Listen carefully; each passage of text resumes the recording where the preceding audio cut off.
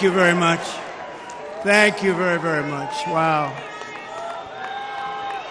And thank you, Dana. Thank you, Kid Rock, sometimes referred to as Bob.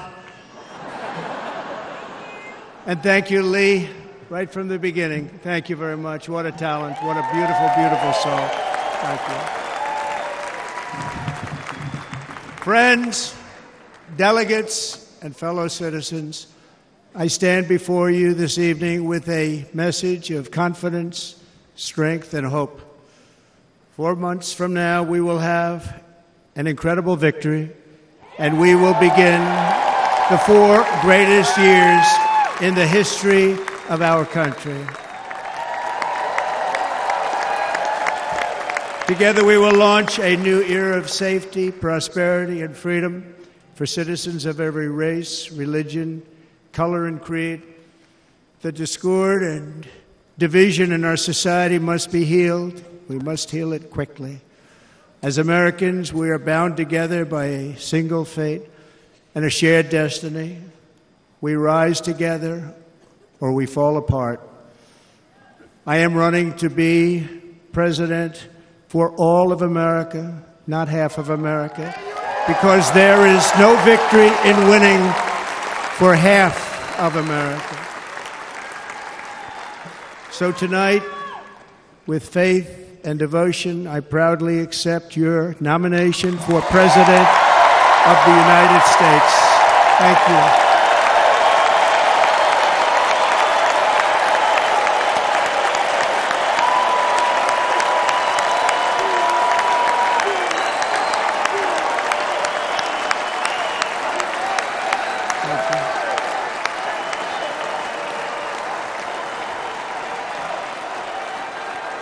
Thank you very much.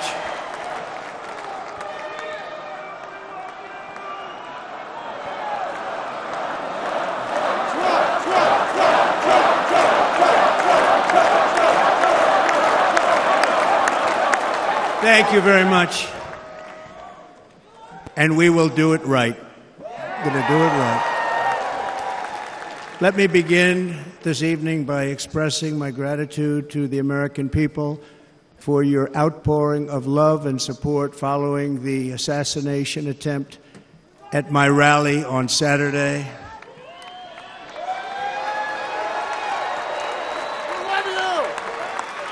As you already know, the assassin's bullet came within a quarter of an inch of taking my life. So many people have asked me, What happened? Tell us what happened, please. And therefore, I will tell you exactly what happened, and you'll never hear it from me a second time because it's actually too painful to tell. It was a warm, beautiful day in the early evening in Butler Township in the great Commonwealth of Pennsylvania. Music was loudly playing, and the campaign was doing really well. I went to the stage, and the crowd was cheering wildly. Everybody was happy. I began speaking very strongly, powerfully, and happily because I was discussing the great job my administration did on immigration at the southern border. We were very proud of it.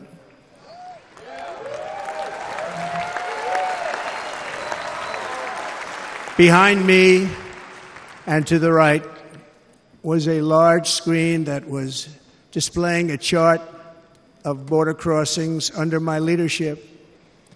The numbers were absolutely amazing. In order to see the chart, I started to, like this, turn to my right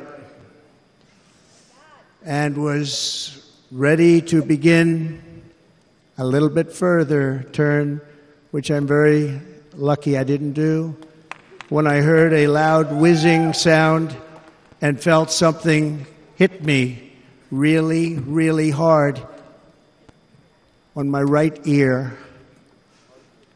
I said to myself, wow, what was that? It can only be a bullet. And moved my right hand to my ear, brought it down. My hand was covered with blood, just absolutely blood all over the place.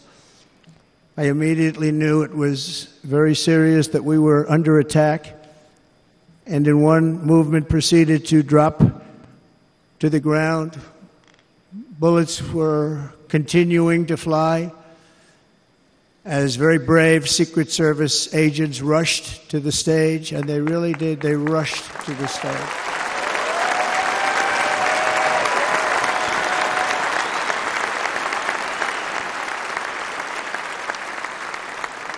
These are great people at great risk, I will tell you, and pounced on top of me so that I would be protected.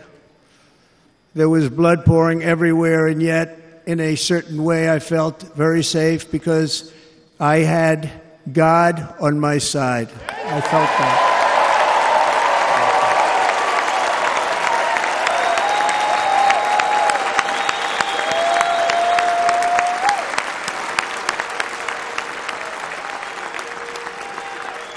The amazing thing is that prior to the shot, if I had not moved my head at that very last instant, the assassin's bullet would have perfectly hit its mark, and I would not be here tonight. We would not be together.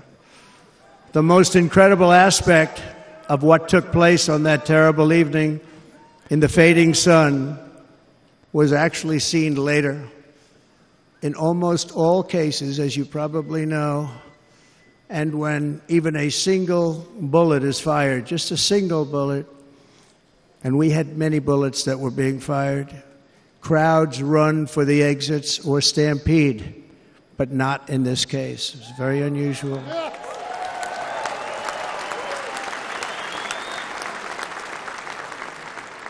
This massive crowd of tens of thousands of people stood by and didn't move an inch. In fact, many of them bravely but automatically stood up looking for where the sniper would be. They knew immediately it was a sniper. And then began pointing at him. You can see that if you look at the group behind me. That was just a small group compared to what was in front. Nobody ran, and by not stampeding, many lives were saved. But that isn't the reason that they didn't move. The reason is that they knew I was in very serious trouble. They saw it. They saw me go down. They saw the blood and thought, actually, most did, that I was dead. They knew it was a shot to the head. They saw the blood. And there's an interesting statistic the ears are the bloodiest part. If something happens with the ears, they bleed more than any other part of the body. For whatever reason, the doctors told me that. I said, Why is there so much blood? He said, It's the ears. They bleed more. So we learned something, but they just. They just, this beautiful crowd, they didn't want to leave me. They knew I was in trouble. They didn't want to leave me. And you can see that love written all over their faces. Incredible people. They're incredible people. Bullets were flying over us, yet I felt serene. But now the Secret Service agents were putting themselves in peril. They were in very dangerous territory. Bullets were flying right over them, missing them by a very small amount of inches. And then it all stopped. Our Secret Service sniper, from a much greater distance and with only one bullet used, took the assassin's life, took him out.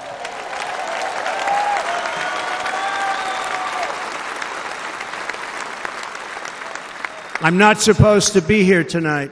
Not supposed to be here. Yes, you are. Yes, you are.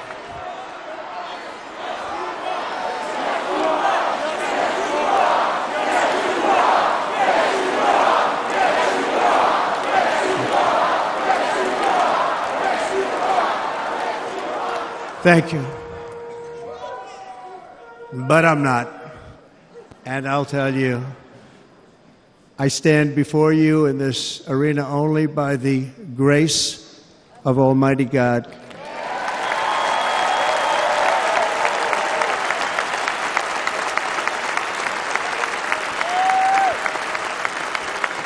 In watching the reports over the last few days, many people say it was a providential moment.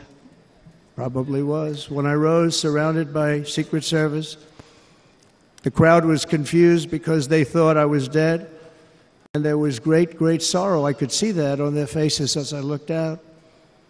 They didn't know I was looking out, they thought it was over. But I could see it, and I wanted to do something to let them know I was okay. I raised my right arm, looked at the thousands and thousands of people that were breathlessly waiting, and started shouting, Fight, fight, fight.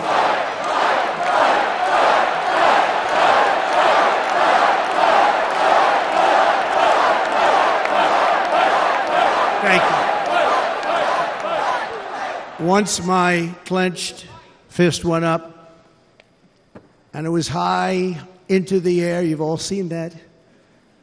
The crowd realized I was okay and roared with pride for our country like no crowd I have ever heard before. Never heard anything like it. For the rest of my life, I will be grateful for the love shown by that giant audience of patriots that stood bravely on that fateful evening in Pennsylvania. Tragically, the shooter claimed the life of one of our fellow Americans, Corey Comperatore. Unbelievable person, everybody tells me. Unbelievable. And seriously wounded, two other great warriors. Spoke to them today. David Dutch and James Copenhaver. Two great people. I also spoke to all three families of these tremendous people. Our love and prayers are with them and always will be. We're never going to forget them. They came for a great rally. They were serious Trumpsters, I want to tell you. They were serious Trumpsters and still are. But Corey, unfortunately, we have to use the past tense. He was incredible. He, He was a highly respected former fire chief, respected by everybody. Was accompanied by his wife, Helen, incredible woman. I spoke to today, devastated, and two precious daughters. He lost his life selflessly acting as a human shield to protect them from flying bullets. He went right over the top of them and was hit. What a fine man he was.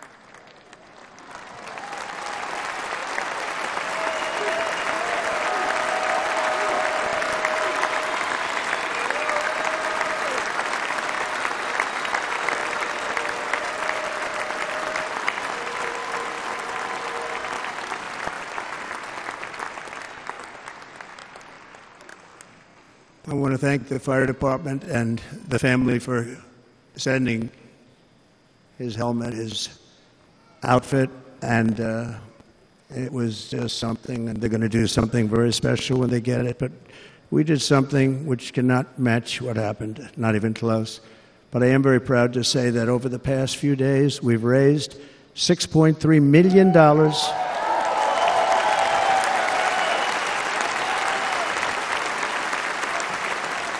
For the families of David, James, and Corey, including from a friend of mine just called up. He sent me a check right here. I just got it. $1 million from Dan Newlin. Thank you, Dan. And again, when speaking to the family, I told them, I said, well, I'm going to be sending you a lot of money, but it can't compensate. They all said the same thing. You're right, sir. We appreciate so much what you're doing, but nothing can take the place in the case of Corey and the other two. By the way, they were very, very seriously injured, but now they're doing very well. They're going to be okay. They're going to be doing very well.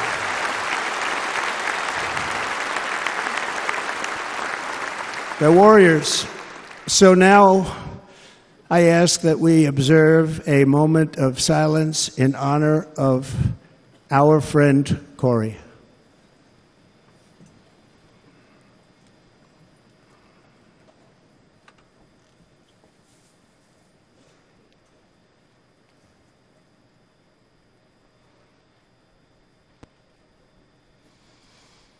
There is no greater love than to lay down one's life for others. This is the spirit that forged America in her darkest hours, and this is the love that will lead America back to the summit of human achievement and greatness. This is what we need. Despite such a heinous attack, we unite this evening more determined than ever. I am more determined than ever, and so are you. So is everybody in this room.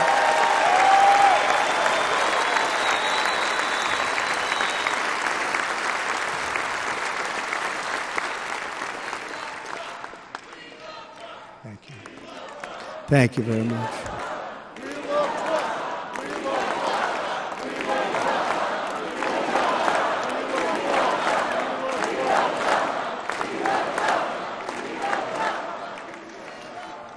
Our resolve is unbroken and our purpose is unchanged to deliver a government that serves the American people better than ever before. Nothing will stop me in this mission because our vision is righteous and our cause is pure. No matter what obstacle comes our way, we will not break, we will not bend, we will not back down, and I will never stop fighting for you, your family, and our magnificent country. Never.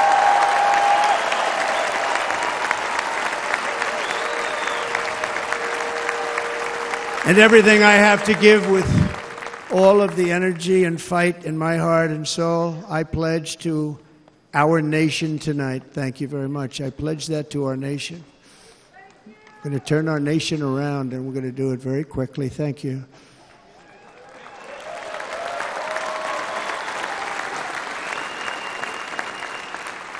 This election should be about the issues facing our country and how to make America successful, safe, free, and great again.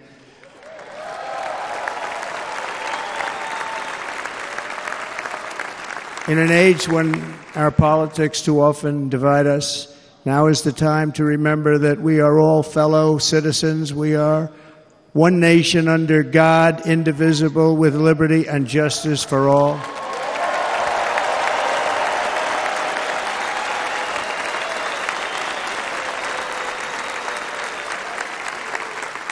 And we must not criminalize dissent or demonize political disagreement, which is what's been happening in our country lately at a level that nobody has ever seen before.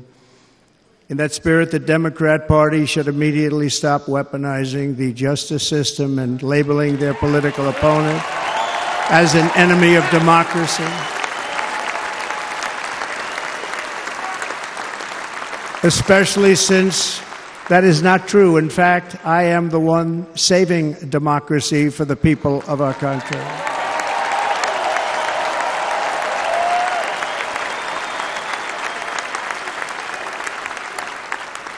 And very big news, as you probably just read. On Monday, a major ruling was handed down from a highly respected federal judge in Florida, Aileen Cannon finding that the prosecutor and the fake documents case against me were totally unconstitutional, and the entire case was thrown out of court. With all of that publicity thrown out of court. If Democrats want to unify our country, they should drop these partisan witch hunts, which I have been going through for approximately eight years. And they should do that without delay and allow an election to proceed that is worthy of our people. We're going to win it anyway, but worthy of our people. On this journey, I am deeply honored to be joined by my amazing wife, Melania.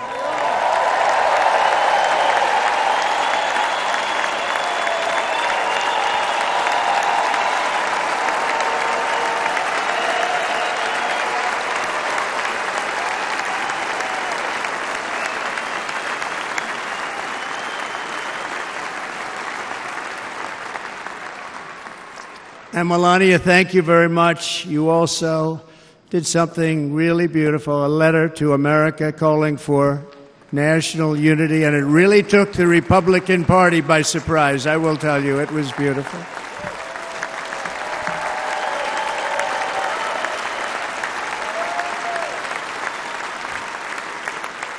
fact, some very serious people said that we should take that letter and put it as part of the Republican platform. That would be an honor, wouldn't it? Right? Mr. Congressman? But it captivated so many, so I also want to thank my entire family for being here Don, Kimberly, Ivanka and Jared, Eric and Lara, Tiffany and Michael, Barron. We love our Barron.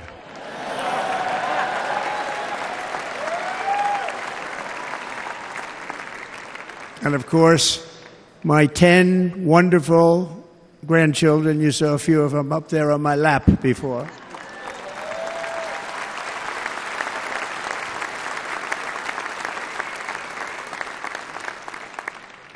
And how good was Dana? Was Dana good? I mean, was he good? You know, he was on probably the only vacation he's had in about uh, maybe ever because he works, but about 10 years with his wife, very far away. I won't tell you where, but very, very far away, beautiful place. And my people called, and he said, Yeah, I won't be able to do it. This is many, many years. I promised my wife I can't do it. And they came in, they said, Dana won't be able to do it because he was my first, second, and third choice. I said, Well, you know, that's too bad, but I understand he's away, and it's good. It's good for him. And that was it. About 30 minutes later, she came back in, Sir, Dana just called. He's going to do it. And his wife, she said, You can't turn him down. You just can't do it. You have to go. That's a good wife.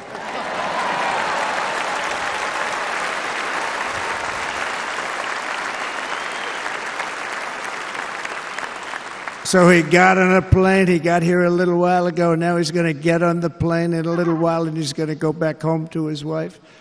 But they're great, and uh, I just want to thank her and him and their whole family because that's not easy. And Kid Rock, same thing. Called, he said,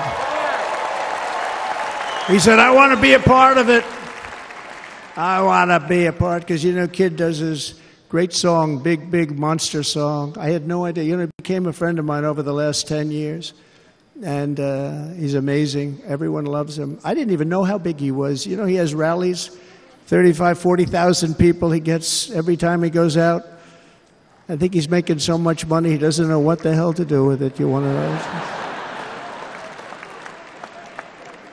And then we have my other friend, and I've known him so long, and we took that song, and it was a big success, but we made that. I saw a chart of great songs to America. That was number one on the chart recently, number one. So that's Lee Greenwood, a very special, beautiful person. He's a beautiful man. But they all wanted to be here. They called. And, and how about the Hulkster? How good was he? Is he up? Where is he? Boy, oh boy.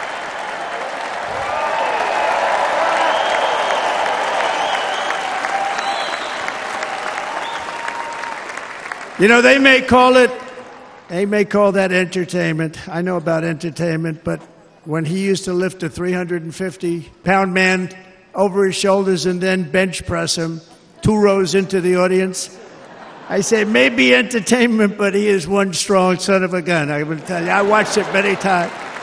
There aren't a lot of entertainers that can do that, right? You were fantastic. Thank you very much. Followed by Eric. What was that all about? Boy, that was good. I didn't want to really come up here. But he was so great, and he's such a good young man. He went through a lot of trouble. And Don last night was incredible. They went through so much trouble. They got subpoenaed more than any people probably in the history of the United States. Every week they get another subpoena from the Democrats, crazy Nancy Pelosi, the whole thing, just boom, boom, boom. They've got to stop that because they're destroying our country. We have to work on making America great again, not on beating people. And we won. We beat them in all. We beat them on the impeachments. We beat them on indictments. We beat them.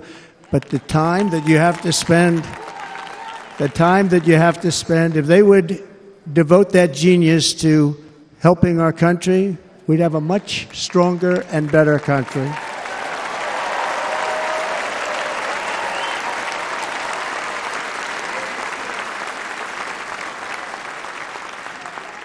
And Jason, the biggest star in country music, Jason, thank you for being here.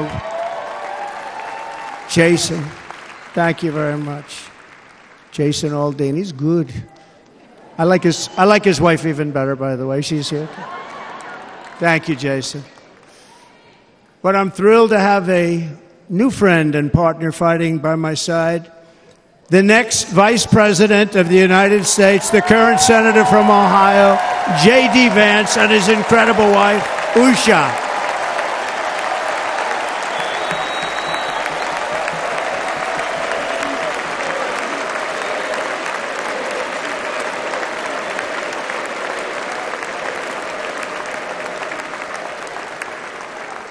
He's going to be a great vice president. He's going to be great. He'll be with this country and with this movement, greatest movement in the history of our country, Make America Great Again. When they criticize it, they say, We're going to try and stop MAGA. I said, MAGA is Make America Great Again. What are you going to stop? There's nothing to stop. then they say, Oh, that's right. It's very tough to fight it. And all of the people that did try and fight it have failed but he's going to be with us for a long time, and it was an honor to select him. Great, great student at Yale. His wife was a great student at Yale. They met at Yale. These are two smart people. So, JD, you're going to be doing this for a long time. Enjoy the ride.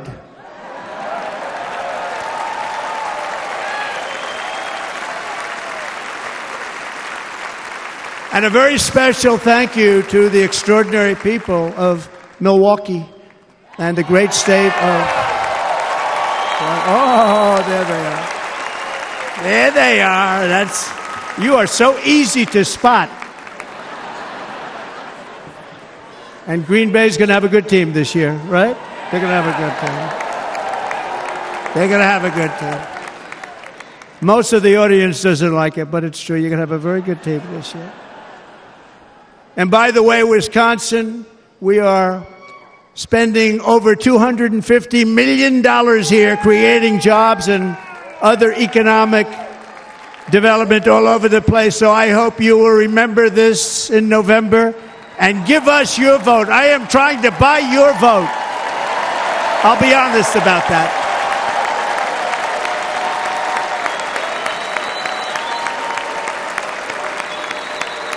And I promise we will make Wisconsin great again. We're going to make it. Thank you, Mr. Governor. Thank you very much. Thank you. I'm here tonight to lay out a vision for the whole nation to every citizen, whether you're a young or old man or woman, Democrat, Republican, or independent, black or white, Asian or Hispanic, I extend to you a hand of loyalty and of friendship.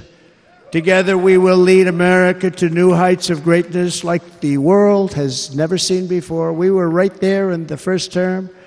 We got hit with COVID. We did a great job. Nobody knew what it was, but nobody's ever seen an economy pre COVID. And then we handed over a stock market that was substantially higher than just prior to COVID. Coming in, did a great job. Never got credit for that. We got credit for the war and defeating ISIS and so many things. The great economy, the biggest tax cuts ever, the biggest regulation cuts ever the creation of Space Force, the rebuilding of our military. We did so much. We did so much. Right to try. Right to try is a big deal. We got right to try. They were trying to get that for 52 years. Somebody's terminally ill, and hopefully there's nobody in this audience, but it does happen a lot. They're terminally ill and they can't use our new space age drugs and other things that we are way ahead. We have the greatest doctors in the world, the greatest laboratories in the world, and you can't do it. They've been trying to get that approved for 52 years. Wasn't that easy? The insurance companies didn't want to do it. They didn't want the risk. The labs didn't want to do it because if it didn't work, people are pretty far down the line toward death. They didn't want to do it. The doctors didn't want to have it on their records, so I got everybody into an office. 52 years they tried. Sounds simple, but it's not.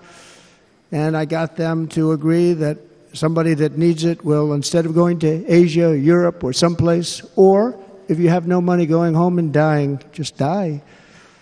We got them to sign an agreement, agree to it, where they're not going to sue anybody. They're going to get all of this stuff. They're going to get it really fast. And what's happened is we're saving thousands and thousands of lives. It's incredible.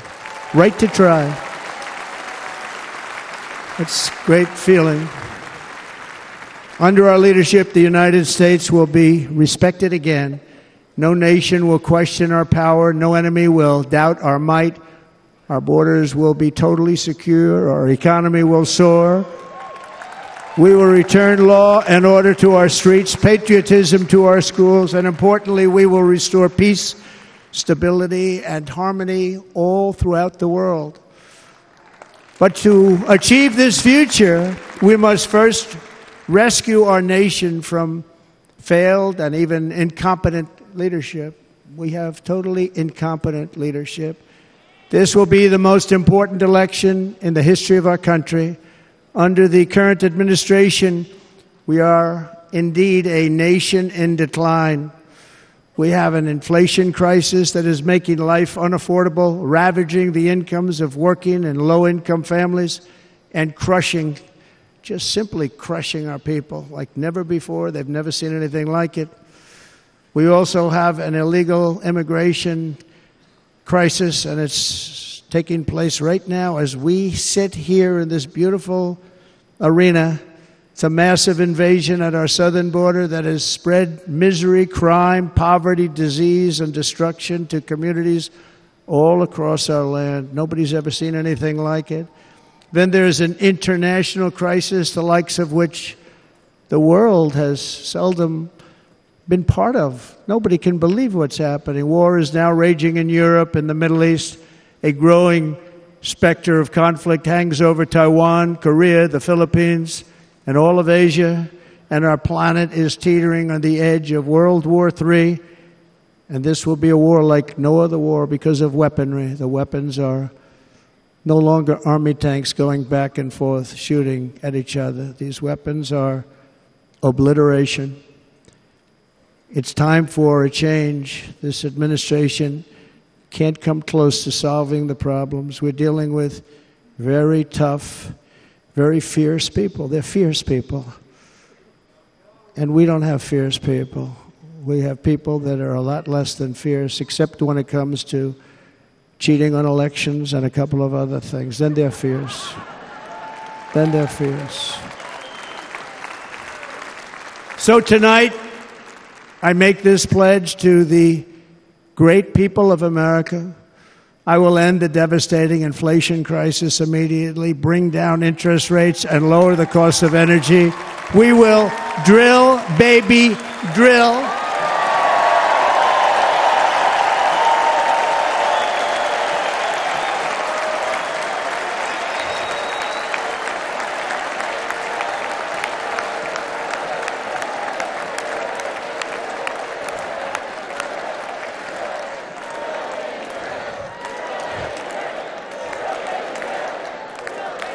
Can you believe what they're doing? But by doing that, we will lead a large scale decline in prices. Prices will start to come down. Energy raised it. They took our energy policies and destroyed them. Then they immediately went back to them, but by that time, so much was lost. But we will do it at levels that nobody's ever seen before. And we'll end lots of different things. We'll start paying off debt and start lowering taxes even further. We gave you the largest tax cut. We'll do it more. You know, people don't realize I brought taxes way down, way, way down, and yet we took in more revenues the following year than we did when the tax rate was much higher. Most people said, How did you do that? Because it was incentive. Everybody was coming to the country, they were bringing back billions and billions of dollars into our country. The companies made it impossible to bring it back. The tax rate was too high, and the legal complications were far too great. I changed both of them, and hundreds of billions of dollars by Apple and so many other companies were brought back into our nation, and we had an economy the likes of which nobody, no nation had ever seen. China, we were beating them at levels that were incredible. And they know it. They know it. We'll do it again, but we'll do it even better. I will end the illegal immigration crisis by closing our border and finishing the wall, most of which I've already built.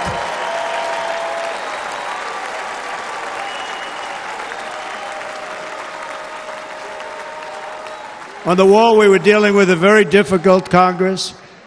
And I said, Oh, that's okay. We won't go to Congress. I call it an invasion. We gave our military almost $800 billion.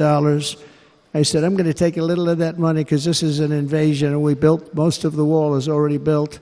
And we built it through using the funds because what's more, what's better than that? We have to stop the invasion into our country that's killing hundreds of thousands of people a year. We're not going to let that happen.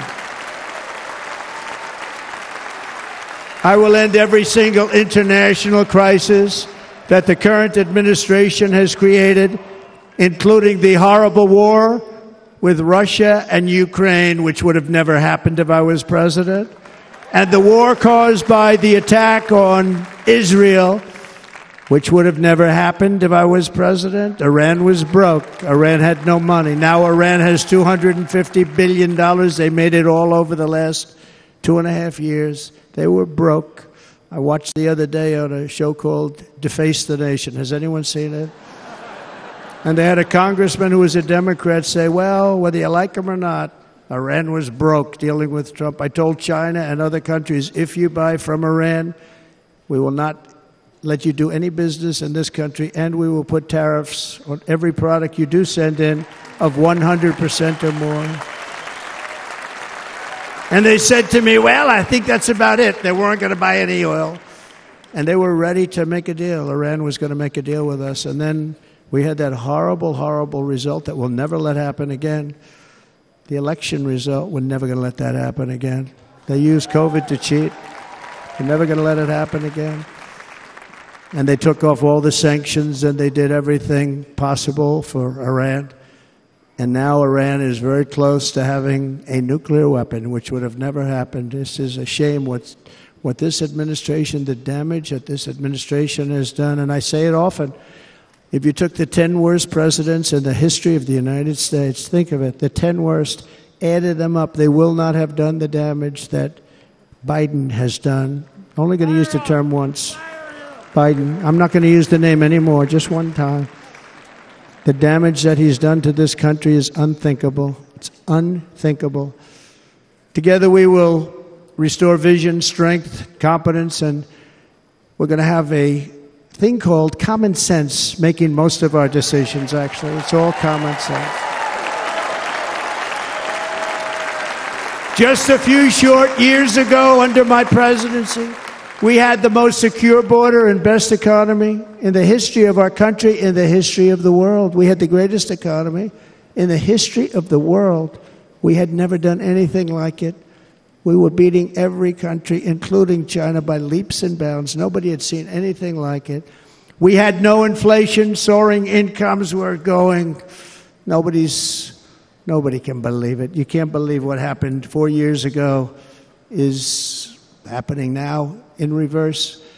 And the world was at peace. Inflation has been a killer for our country. No matter what you make it, it doesn't matter because inflation is eating you alive. People that were putting away money they were making great wages, the highest they've ever made, but they were putting away a lot of money. Now they are just being destroyed. They're not putting away anything. They're barely living. They're going into savings accounts. They're taking out their money to live because of inflation. Inflation, remember, it's called a country buster. You can go back to Germany from 100 years ago. You can go back to any country that suffered great inflation. We've suffered the worst inflation we've ever had. But go back and see what's happened to those countries. We've had the worst inflation we've ever had under this person. But in less than four years, our opponents have turned incredible success into unparalleled tragedy and failure. It's been a tremendous failure. Today, our cities are flooded with illegal aliens. Americans are being squeezed out of the labor force and their jobs are taken. And by the way, you know who's taking the jobs, the jobs that are created? 107% of those jobs are taken by illegal aliens. And you know who's being hurt the most by millions of people pouring into our country?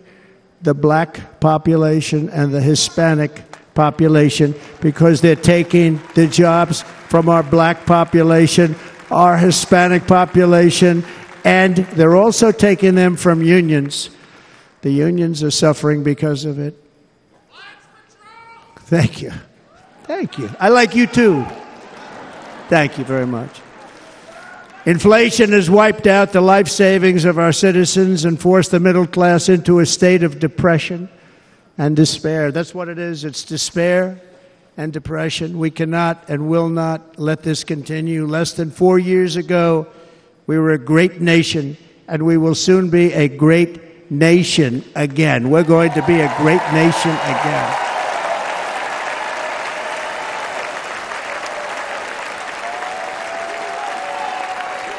Thank you. With proper leadership, every disaster we are now enduring will be fixed, and it will be fixed very, very quickly. So tonight, whether you've supported me in the past or not, I hope you will support me in the future because I will bring back the American dream. That's what we're going to do. You don't even hear about the American dream anymore. With great humility, I am asking you to be excited about the future of our country. Be excited. Be excited.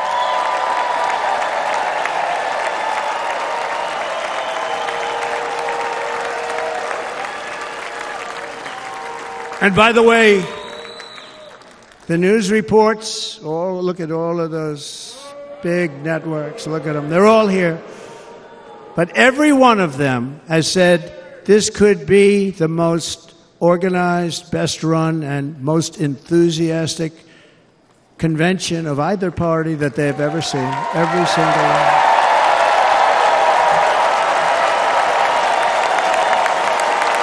And it's true. It's true. And there's love in the room. There's great love in the room.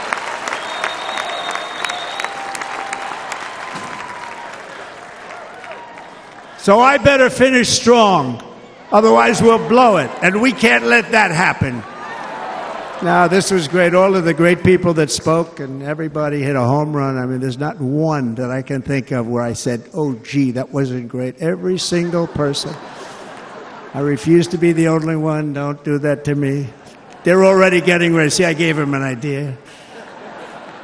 Now we had a. This was a great convention. This was. Uh, I think we're actually going to go home and miss it. You know, usually with a. Con- First of all, look at these crowds. You'd never have this at a convention. Look at these crowds.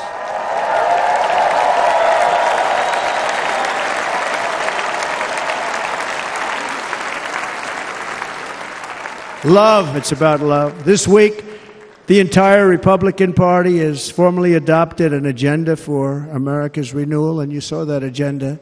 And it's very short compared to the long, boring, meaningless agendas of the past, including the Democrats. They write these things that are hundreds of pages long and they never read them after they're done. In their case, fortunately, they don't read them because they're pretty bad. It's a series of bold promises that we will swiftly implement when you give us a Republican House. And, Mr. Speaker, thank you very much. We have our great Speaker of the House with us tonight, Mr. Speaker. Thank you very much. Thank you. A Republican Senate, we have many senators here. And send me back to our beautiful White House just a few short months from now. We're talking about just months. It can't come fast enough. We have to get it done. First, we must get economic relief to our citizens. Starting on day one, we will drive down prices and make America affordable again. We have to make it affordable. It's not affordable. People can't live like this. Under this administration, our current administration, groceries are up 57%, gasoline is up 60 and 70%, mortgage rates have quadrupled. And the fact is, it doesn't matter what they are because you can't get the money anyway. You can't buy houses. Young people can't get any financing to buy a house. The total household costs have increased an average of $28,000 per family under this administration. Republicans have a plan to bring down prices and bring them down very, very rapidly.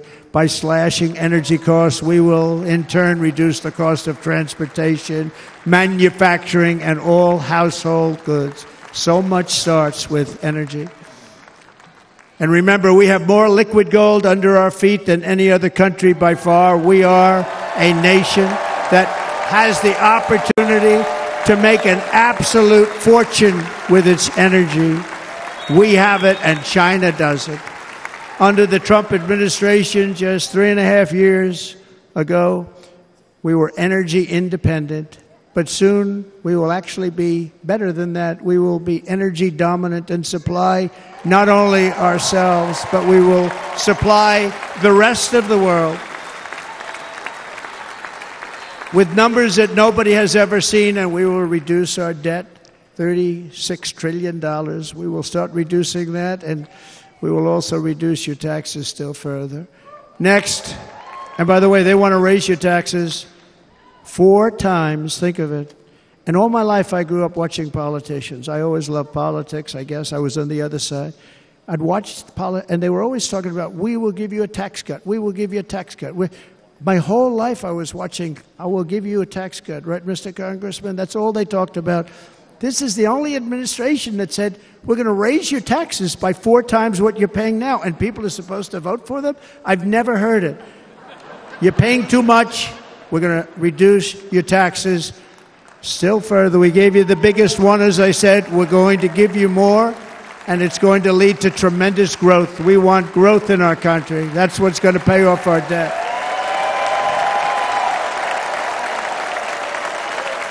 And next, we will end the ridiculous and actually incredible waste of taxpayer dollars that is fueling the inflation crisis. They've spent trillions of dollars on things having to do with the Green New Scam. It's a scam.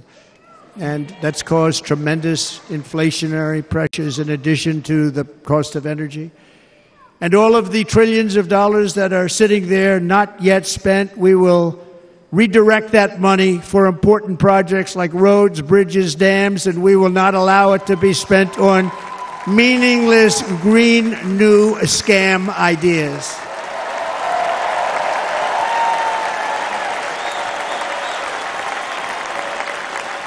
And I will end the electric vehicle mandate on day one.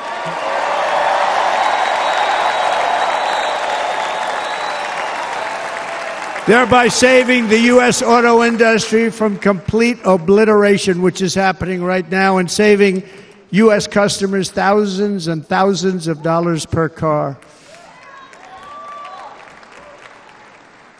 And right now, as we speak, large factories just started are being built across the border in Mexico. So, with all the other things happening on our border, and they're being built by China to make cars and to sell them into our country.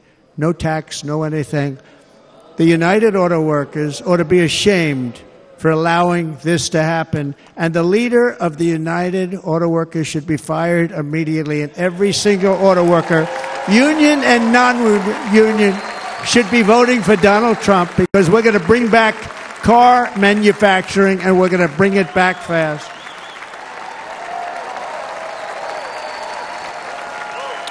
They're building some of the largest auto plants anywhere in the world. Think of it in the world. We're going to bring it back. We're going to make them. We don't mind the we don't mind that happening, but those plants are going to be built in the United States and our people are going to man those plants.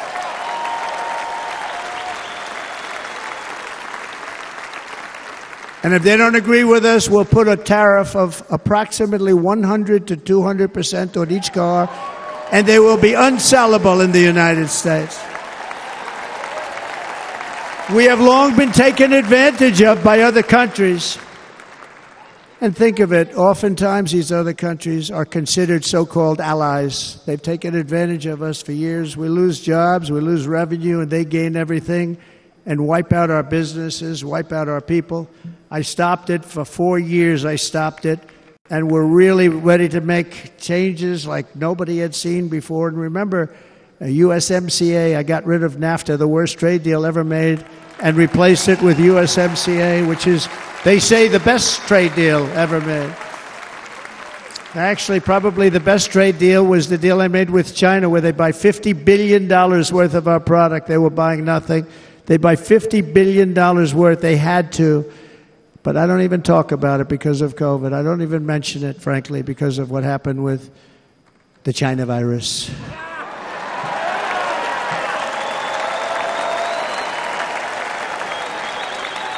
We will not let countries come in, take our jobs, and plunder our nation. They come and do that. They plunder our nation. The way they will sell their product in America is to build it in America. Very simple. Build it in America and only in America.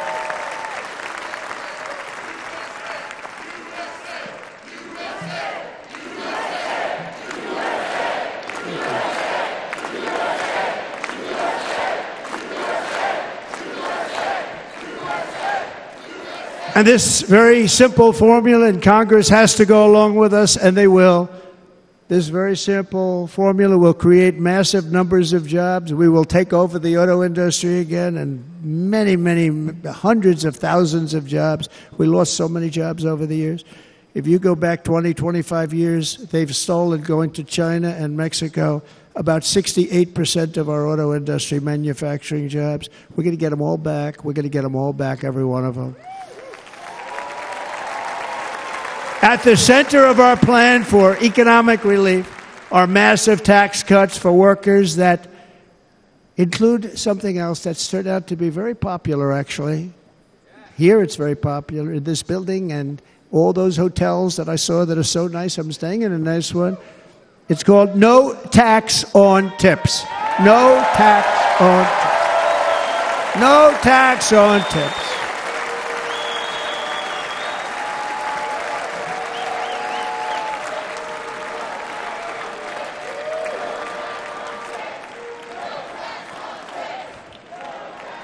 I got that by having dinner recently in Nevada, where we're leading by about 14 points. Hello. I'll see you there very soon, everybody. And we're having dinner at a beautiful restaurant in the Trump building on the strip, and it's a great building. And the waitress comes over. How's everything going? Really nice person. How's everything? Oh, sir, it's so tough. The government's after me all the time on tips, tips, tips. I said, Well, they give you cash. Would they be able to find him? She said, Actually, and I didn't know this. She said, Very little cash is given. It's all put right on the check. And they come in and they take so much of our money, it's just ridiculous. And they don't believe anything we say. And they've just hired, as you know, 88,000 agents to go after him even more. And I said, this shows the level of my, you know, most people go out, they hire consultants, they pay millions of dollars. But I said to her, let me just ask you a question. Would you be happy if you had no tax on tips? She said, what a great idea. I got my information from a very smart waitress. That's better than spending millions of dollars. And everybody, everybody loves it. Waitresses and caddies and drivers and everybody's a large, large group of people that are being really hurt badly. They make money, let them keep their money. I'm going to protect Social Security and Medicare. Democrats are going to destroy Social Security and Medicare because all of these people, by the millions they're coming in, they're going to be on Social Security and Medicare and other things, and you're not able to afford it. They are destroying your Social Security and your Medicare. Under my plan, incomes will skyrocket, inflation will vanish completely, jobs will come roaring back, and the middle class will prosper like never, ever before, and we're going to do it very rapidly.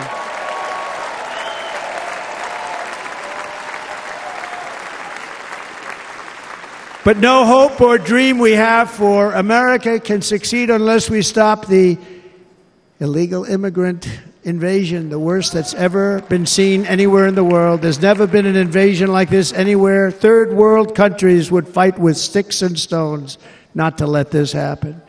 The invasion at our southern border, we will stop it and we will stop it quickly. You heard Tom Homan yesterday. Tom Homan, put him in charge and just sit back and watch. Brandon Judd, the Border Patrol, he's incredible. These guys, you know, they, they really, their job is a lot easier if they don't have to do anything, but they want to. They're patriots. Brandon Judd, Border Patrol, ICE.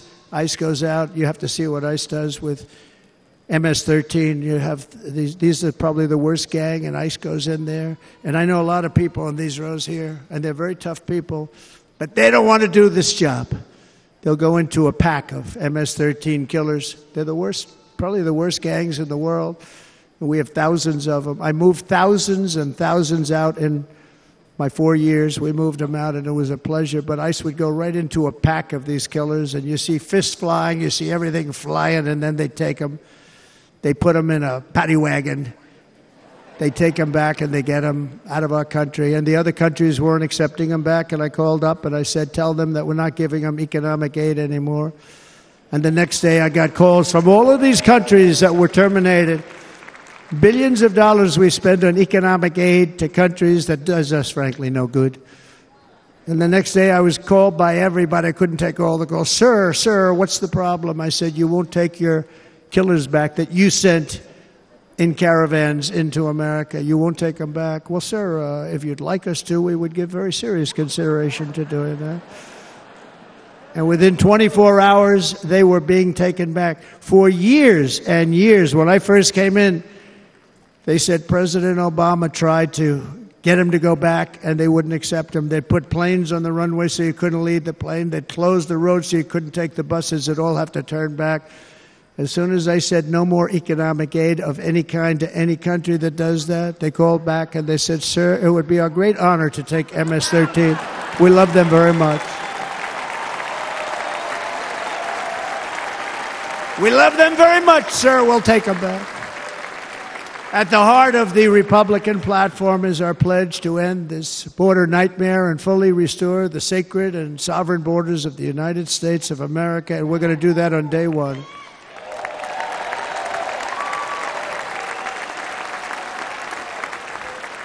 That means two things on day one, right? Drill, baby, drill, and close our borders.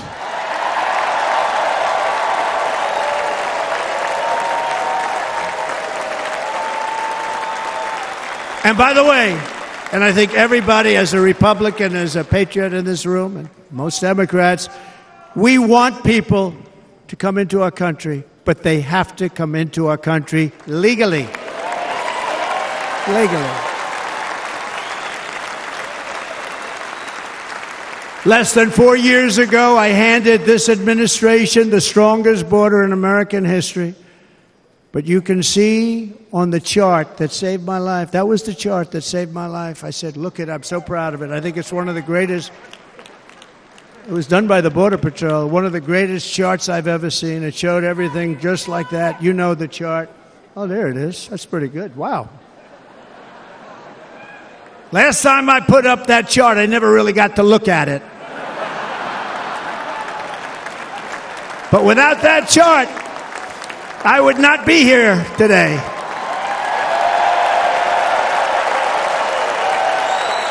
Never got to look at it.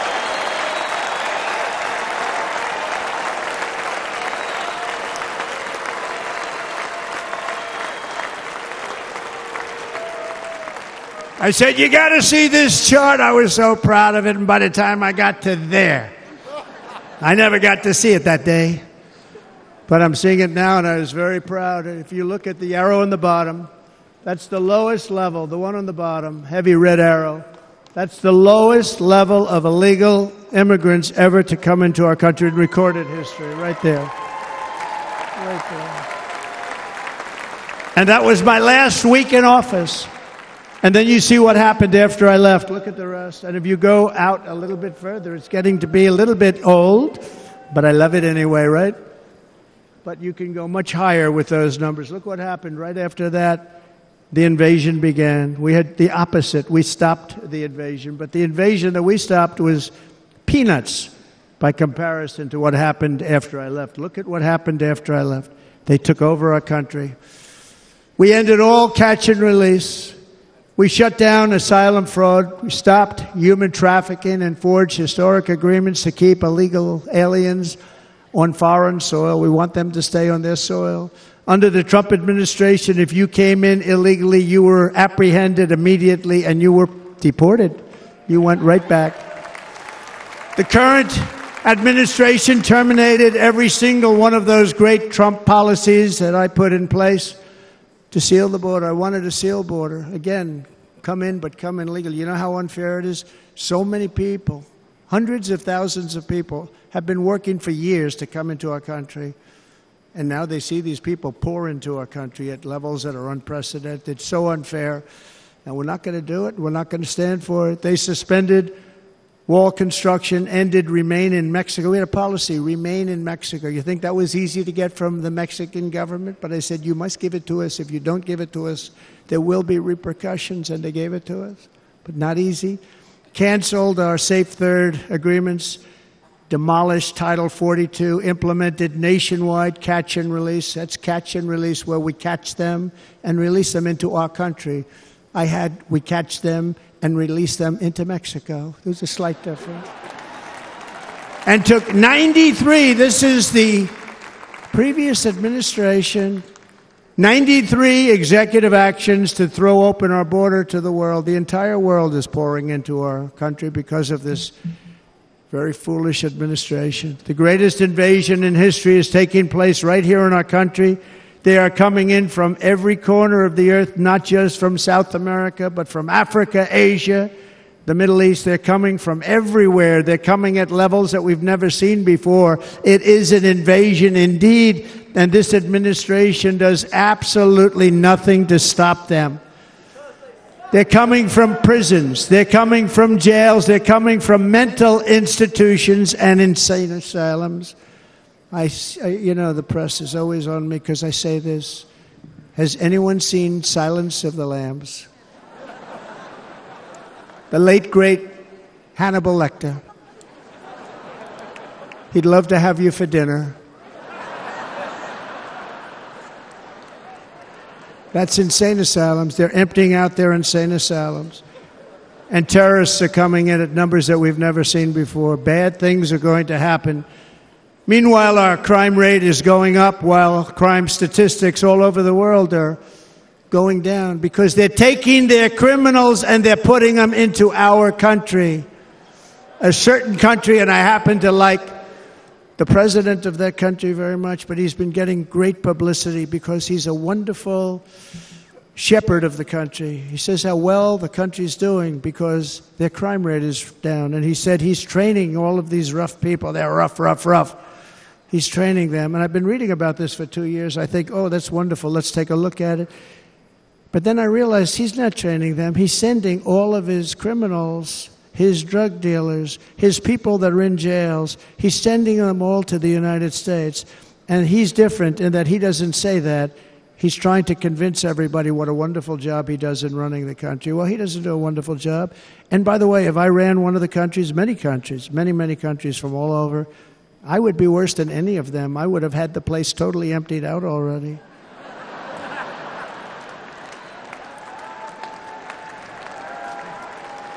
But we become a dumping ground for the rest of the world, which is laughing at us. They think we're stupid.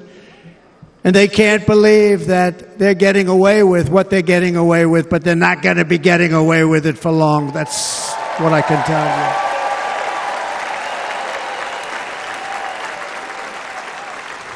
you. In Venezuela, Caracas, high crime, high crime. Caracas, Venezuela really a dangerous place, but not anymore. Because in Venezuela, crime is down 72%. In fact, if they would ever win this election, I hate to even say that, we will have our next Republican convention in Venezuela because it will be safe. Our cities, our cities will be so unsafe, we won't be able, we will not be able to have it there. In El Salvador, murders are down by 70%. Why are they down? Now, he would have you convinced that because he's trained murderers to be wonderful people. No. They're down because they're sending their murderers to the United States of America. This is going to be very bad. And bad things are going to happen, and you're seeing it happen all the time. That's why, to keep our families safe, the Republican platform promises to launch the largest deportation operation in the history of our country. Even larger than that of President Dwight D. Eisenhower from many years ago. You know, he was a moderate, but he believed very strongly in borders. He had the largest deportation operation we've ever had. Just recently, I spoke to the grieving mother of Jocelyn Nungaray, a wonderful woman, a precious 12 year old girl from Houston who last month was tied up, assaulted, and strangled to death after walking to the convenience store just a block away from her house. Her body was dumped near the side of the road in a shallow creek, found by some onlookers who couldn't believe what they had witnessed. Charged with Jocelyn's heinous murder two illegal aliens from Venezuela who came across our border, were in custody, and were then released into the country by this horrible, horrible administration that we have right now. I also met recently with the heartbroken mother and sister of Rachel Morin. Rachel was a 37 year old mom of five beautiful children who was brutally raped and murdered while out on a run. She wanted to keep herself in good shape. It was very important to her. She was murdered. The monster responsible first killed another woman in El Salvador before he was led into America by the White House. This White House let them in. He then attacked a nine year old girl and her mother in a home invasion in Los Angeles before murdering Rachel in Maryland. Traveled all throughout the country, doing tremendous damage. Rachel's mother will never be the same. I spent time with her. She will never be the same. I've also met with the wonderful family of Laken Riley, the brilliant 22 year old nursing student. She was so proud of being first in her class, who was out for a jog on the campus of the University of Georgia when she was assaulted, beaten, and horrifically killed. Yet another American life was stolen by a criminal alien set free by this administration. And these were incredible people we're talking about. These were incredible people who died. Tonight, America, this is my vow. I will not let these killers and criminals into our country.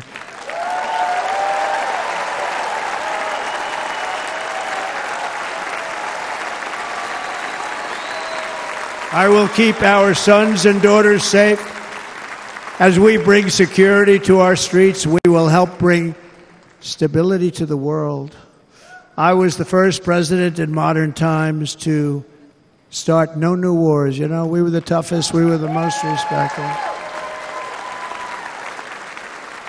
And you, you saw this hungry, strong country run by a very powerful, tough leader. Tough guy. Press doesn't like him because he's tough. And uh, he came out recently. They were asking him at an interview, the whole world is exploding. What's happening? What's going on?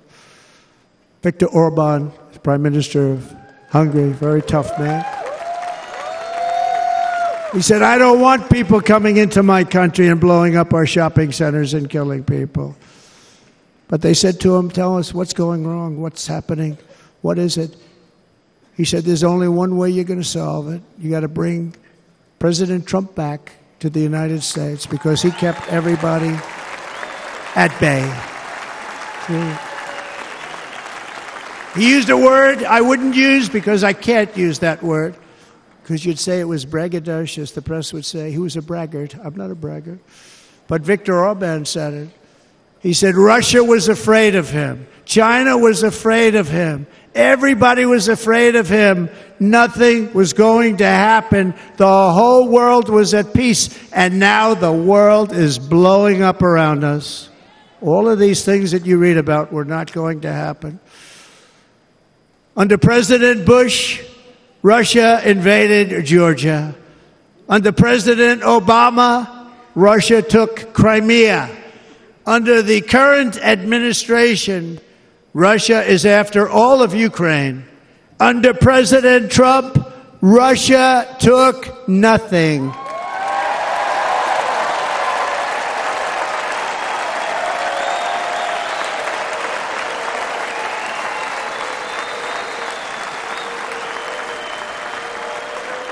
We defeated 100% of ISIS in Syria and Iraq, something that was said to take five years, sir. It'll take five years, sir. We did it in a matter of a couple of months. We have a great military. Our military is not woke, it's just some of the fools on top that are woke.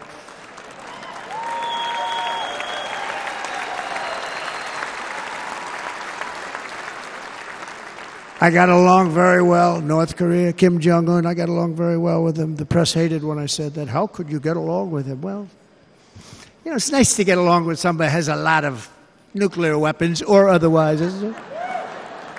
See, in the old days, you'd say, that's a wonderful thing. Now they say, how can you possibly do that? But no, I got along with them, and we stopped the missile launches from North Korea. Now, North Korea is acting up again, but when we get back, I get along with him. He'd like to see me back too. I think he misses me, if you want to know the truth. Our opponents inherited a world at peace and turned it into a planet of war. We're in a planet of war. Look at that attack on Israel. Look at what's happening with Ukraine. The cities are just bombed out. How can people live like that where buildings, massive buildings, are falling to the ground? It began to unravel with the disastrous withdrawal from Afghanistan, the worst humiliation in the history of our country. We have never had a humiliation like that. 13 heroic U.S. service members were tragically and needlessly killed. 45 others were horrifically wounded. Nobody ever talks about them. No arms, no legs, face explosions, horrifically, horrifically wounded. And by the way, we have a man in this room who's running for the U.S. Senate from a great state, Nevada, named Sam Brown, who paid the ultimate price. Thank you, Sam. Thank you, Sam. Thank you. He paid the biggest price probably ever paid by anybody that is running for office, and I think he's going to do great. He's running against a person that is not good, not respected, a total lightweight. But Sam, I think, paid really, we were talking about it with some of the senators that are working so hard for Sam, but he paid the biggest price of any senator ever to run for the Senate. I don't think anybody's ever what he did. He was a real hero, a really great person and he's running, and I hope that everybody gets out and votes for Sam Brown.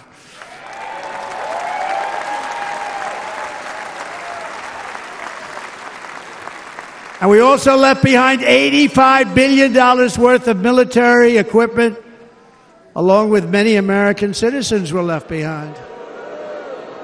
Many, many American citizens, emboldened by that disaster, Russia invaded Ukraine. They saw this group of people that were incompetent we took the soldiers out first. No, no, we're going to take the soldiers out second. If they would have followed my plan, we had a great plan. But the plan only kicked in if they did everything perfectly. And they weren't doing things perfectly, so we said it doesn't kick in. You know, 18 months in Afghanistan, we didn't have one, so they were killing them left and right, snipers. And I spoke to the head of the Taliban. You've heard this story. Abdul still there, still the head of the Taliban. The press got on me. Why would you speak to him? I said, because that's where the killing is. I don't have to speak to somebody that has nothing to do with it. And I told him, don't ever do that. Don't ever do that again. Don't ever, ever do that again. You've got to stop. Because during the Obama administration, many great people and soldiers, but a lot of soldiers were being killed from long distance. I said, if you keep doing that, you're going to be hit harder than anybody's ever been hit by a country before.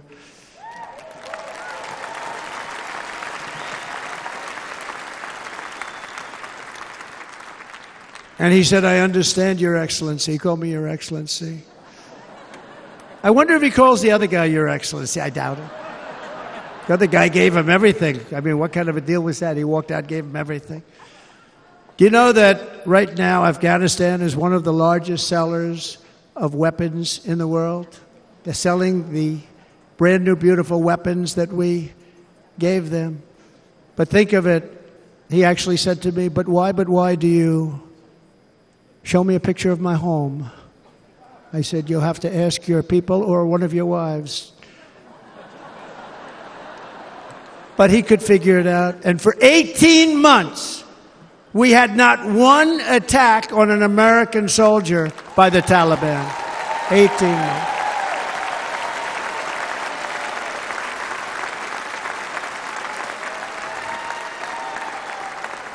And then we had that horrible day where soldiers were killed. I was not there because of a ridiculous election. But we had that horrible attack and uh, they also gave up Bagram, one of the biggest bases anywhere in the world, air bases anywhere in the world, the longest runways, most powerful, hardened, thickened runways. We gave it up. And I liked it not because of Afghanistan, I liked it because of China. It's one hour away from where China makes their nuclear weapons.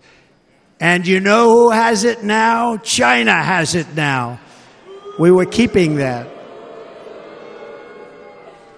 And now China is likewise circling Taiwan, and Russian warships and nuclear submarines are operating 60 miles off the coast in Cuba. Do you know that? No, the press refuses to write about it. If that were me running this country and we had nuclear submarines in Cuba, I will tell you that headlines every day would be What's wrong with our president? You don't even hear this. You're not hearing about this. Russia has nuclear submarines and warships 60 miles away, Mr. Congressman, from Miami, by the way, happens to be here. Correct?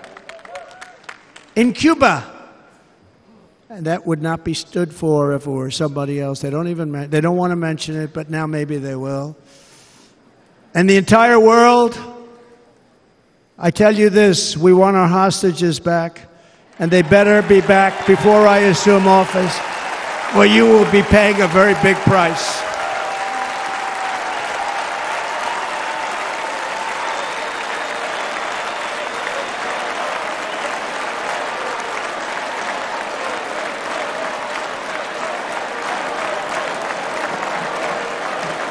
With our victory in November, the years of war, weakness, and chaos will be over. I don't have wars. I had no wars other than ISIS, which I defeated, but that was a war that was started. We had no wars. I could stop wars with a telephone call.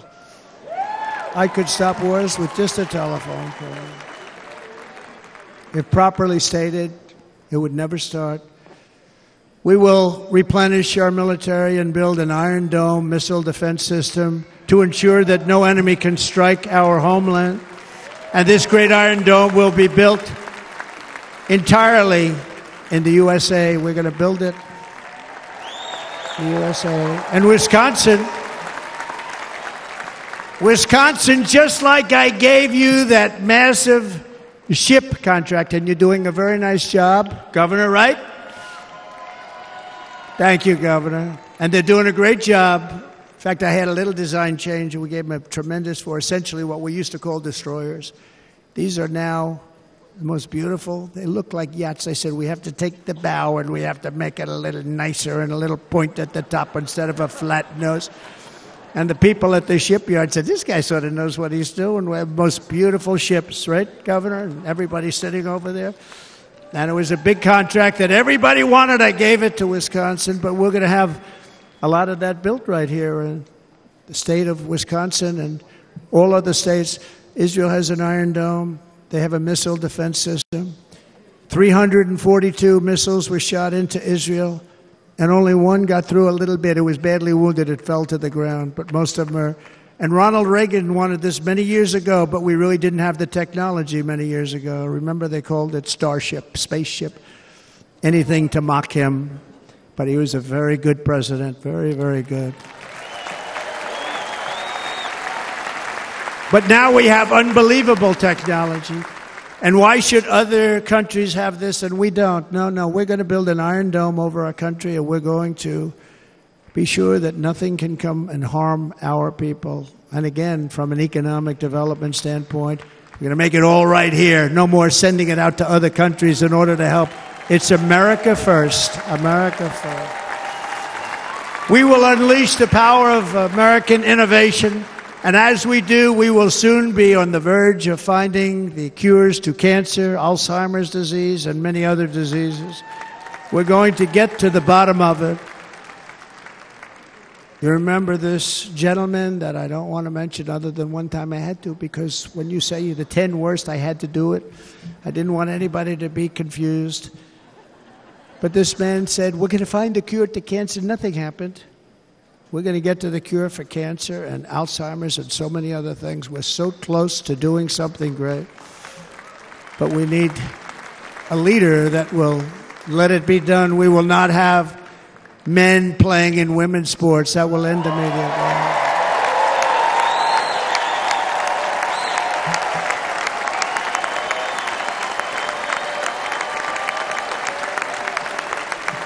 And we will restore and renovate our nation's once great cities, making them safe, clean, and beautiful again.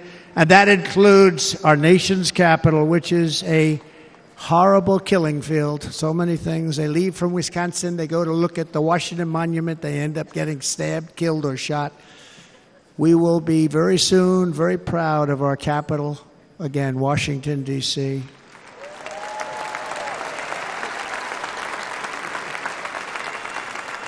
America is on the cusp of a new golden age, but we will have the courage to seize it. We're going to take it. We're going to make it a current. I mean, we're going to bring this into a golden age like never seen before. Remember this China wants to do it, Japan wants to do it, all of these countries want to do it. We have to produce massive amounts of energy if we're going to produce the new. If you look at some of the things that have been done, and some of the things that we're going to do.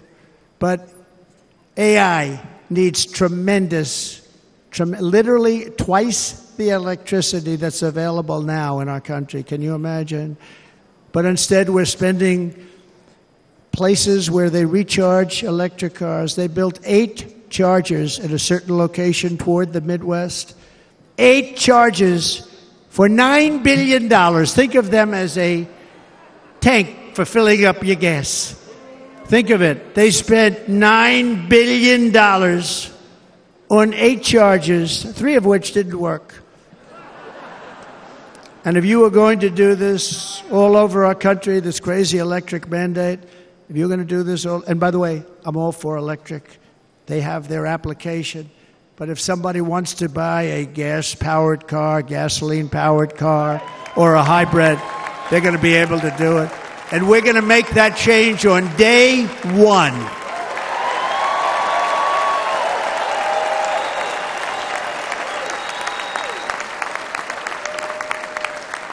So, to conclude, just a few short days ago, my journey with you nearly ended. We know that. And yet, here we are tonight, all gathered together, talking about the future, promise, and a total renewal of a thing we love very much. It's called America. We live in a world of miracles. None of us knows God's plan or where life's adventure will take us. I want to thank Franklin Graham for being here tonight. He's an outstanding man. He wrote me a note recently. I have a lot of respect for him. Sir, I love your storytelling. I think it's great in front of these big rallies. But, sir, please do me one favor. It won't make any difference. Please don't use any foul language. I was a little embarrassed. I said, he said, It won't make any difference. Actually, it does. The story's not quite as good, but I've been very good. The story is not quite as good, to be honest. I've got to have a little talk with Franklin, but he was great. He's a great gentleman. His father was so incredible, Billy Graham. My father used to love taking me to see Billy Graham. My father would take me to see Billy Graham at Yankee Stadium. He had the biggest rallies you've ever seen. He was a good rally guy, too. But he'd get up and he was a fantastic guy. My father loved Billy Graham. But I love Franklin Graham. I think Franklin's been fantastic. And I'm trying, I'm working so hard to adhere to his note to me. I'm working hard on it, Franklin. But if the events of last Saturday make anything clear, it is that every single moment we have on earth is a gift from God.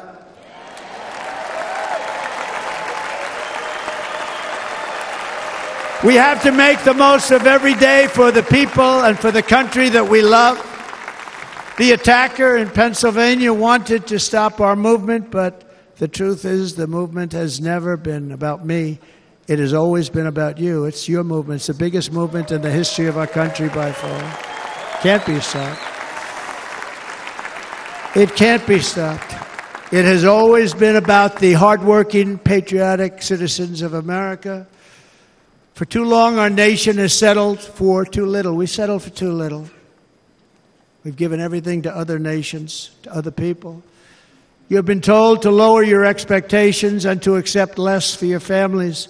I am here tonight with the opposite message. Your expectations are not big enough. Not big enough. It is time to start expecting and demanding the best leadership in the world, leadership that is bold, dynamic, relentless, and fearless. We can do that. We are Americans. Ambition is our heritage, greatness is our birthright. But as long as our energies are spent fighting each other, our destiny will remain out of reach, and that's not acceptable. We must instead take that energy and use it to realize our country's true potential and write our own thrilling chapter of the American story. We can do it together. We will unite. We are going to come together, and success will bring us together.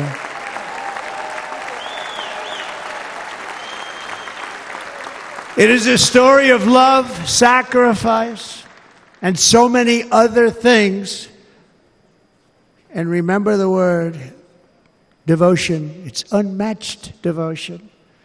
Our American ancestors crossed the Delaware, survived the icy winter at Valley Forge, and defeated a mighty empire to establish our cherished republic. They fought so hard, they lost so many. They pushed thousands and thousands of miles across a dangerous frontier, taming the wilderness to build a life and a magnificent home for their family. They packed their families into covered wagons, trekked across hazardous trails, scaled towering mountains, and braved rivers and rapids to stake their claim on the wide open, new, and very beautiful frontier. When our way of life was threatened, American patriots marched onto the battlefield, raced into enemy strongholds, and stared down death and stared down those enemies to keep alive the flame of freedom. At Yorktown, Gettysburg, and Midway, they joined the roll call of immortal heroes. So many, just so many heroes, so many great, great people. And we have to cherish those people. We can't forget those people. We have to cherish those people.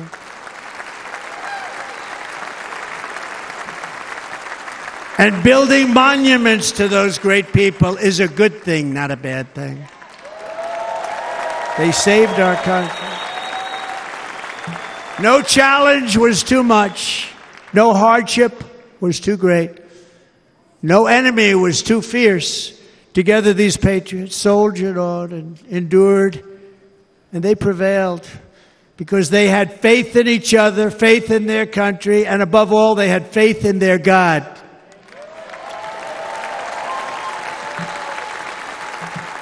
Just like our ancestors, we must now come together, rise above past differences. Any disagreements have to be put aside and go forward united as one people, one nation, pledging allegiance to one great, beautiful, I think it's so beautiful, American flag. Tonight I ask for your partnership, for your support, and I am humbly asking for your vote. I want your vote. To make our country great again. Every day I will strive to honor the trust you have placed in me, and I will never, ever let you down. I promise that. I will never let you down. To all of the forgotten men and women who have been neglected, abandoned, and left behind, you will be forgotten no longer. We will press forward, and together we will win, win, win.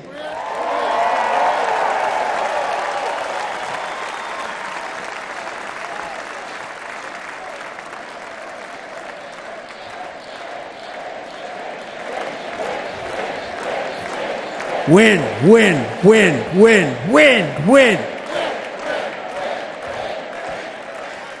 Nothing will sway us, nothing will slow us, and no one will ever stop us.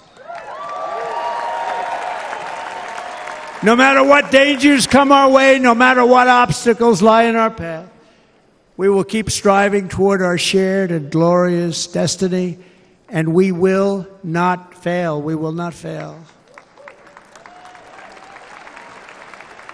Together, we will save this country, we will restore the republic, and we will usher in the rich and wonderful tomorrows that our people so truly deserve. America's future will be bigger, better, bolder, brighter, happier, stronger, freer, greater, and more united than ever before.